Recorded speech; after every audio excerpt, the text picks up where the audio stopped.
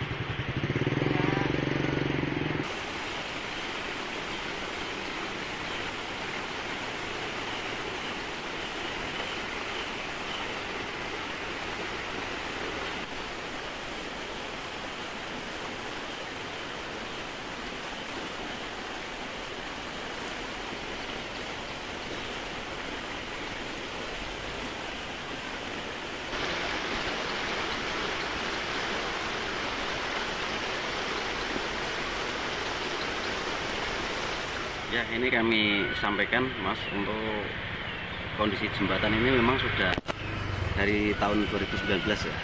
Jadi sampai sekarang ini belum bisa terbangun dengan adanya beberapa tahun ini tadi terjadi Covid. Jadi dari pemerintah Kabupaten Semarang belum bisa untuk membangun dan rencana ini adalah tahun ini jembatan ini akan dibangun oleh pemerintah Kabupaten Semarang. Semoga eh, dengan adanya musibah ini ambrolnya jembatan Jatisari ini nanti segera dibangun oleh pemerintah Kabupaten Semarang. Untuk kronologinya Mak seperti apa kemarin? Kemarin seperti apa Pak? Hingga Nah. bisa Kemarin itu terjadi hujan deras dan mengakibatkan banjir besar sehingga jembatan yang kondisinya sudah parah ini akhirnya eh, turun ke bawah. Tapi sebelumnya pas dari tahun 2019 hingga sekarang itu masih bisa dilalui roda empat Pak? Atau gimana? Masih Masih masih, bisa ya? bisa. Tapi untuk muatan ya sedang lah, tidak bisa berat lagi. Hmm. Berarti untuk sekarang sudah tidak total tidak bisa dilalui Nah, Pak? sampai sekarang ini mulai hari ini adalah total dan macet tidak bisa dilalui lagi. Berarti warga roda empat terisolir ini Pak? Nggak usah keluar ini Pak? Warga eh, terutama dusun Jatisari, Muningsari, Randusari, tiga dusun di Desa Pelumutan mulai hari ini terisolir dari untuk akses eh, masyarakat terutama untuk bahan-bahan material ti- tidak bisa masuk. Itu ada jalan lain nggak sih Pak? Selain ini Pak untuk mobil Pak? Sebetulnya ada jalan pintas tapi eh, sekarang yang jalan perintas kami baru kami cor jadi belum bisa dilewati dan satu lagi jalan pintas adalah melewati dari eh, Kabupaten Boyolali Memutar. Eh, memutar lewat eh, Kecamatan Wonosamudro. Itu hingga berapa kilo Pak untuk kalau memutar itu Pak? Kalau memutar lewat di Kecamatan Wonosamudro itu bisa mencapai 12 kilo. Kilo Pak. Pak ini dampaknya apa sih Pak dengan selain terisolir ekonomi, pendidikan atau Pak dengan kondisi terputusnya ini Pak? Dampak kerugian warga ini Pak?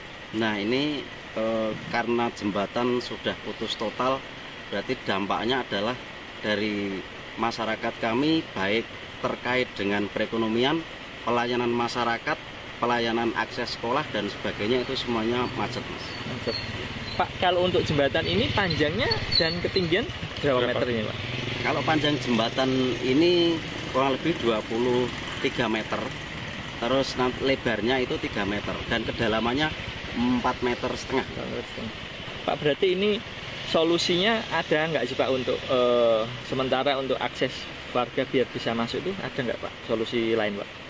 Kalau solusi untuk warga sementara untuk akses yang khusus roda 2 ini masih bisa karena sudah dibuatkan jembatan darurat yang di samping jembatan ini. Tapi untuk yang akses eh, berat termasuk memasukkan material dan sebagainya itu sampai saat ini macet total. Itu kan juga kondisi jembatan yang eh, darurat itu juga tergerus itu Pak. Itu Iya, bahaya itu Pak? Iya, iya. Ini juga sangat bahaya yang eh, jembatan daruratnya karena dari sayapnya juga sudah ambrol semua. Siap, matur. Jangan lupa follow, like, dan subscribe sosial media Tribun Jateng.